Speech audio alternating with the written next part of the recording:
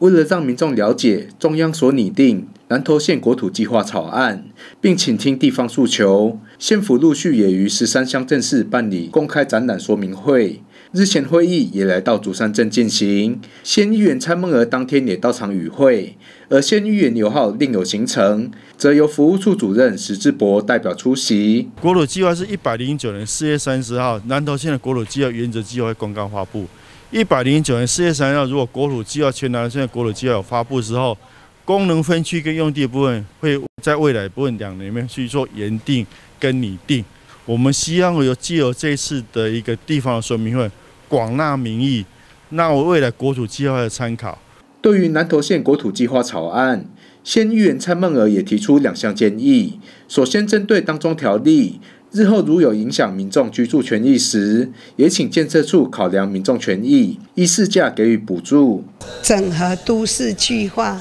好可开发区、跟不可开发区，以及建筑用地，如果变更成不可建筑之用地，哈，如果说有相关的问题，时阵，我们家极力的要求，能建设处一定爱以人民好来管理啊。来个维护吼，啊，一定是爱用咱市民的介绍来给人做补助吼，啊，以确保我们居民的一个居住的一个权利哈。草案中对于土地使用的区分，恐对地方茶产业造成冲击，所以蔡议员也希望相关单位能够重视茶农生计问题，妥善来做规划。咱的乡亲拢是务农吼，拢是咧种地。咱希望讲是毋是会当利用这即个的机会吼，甲咱的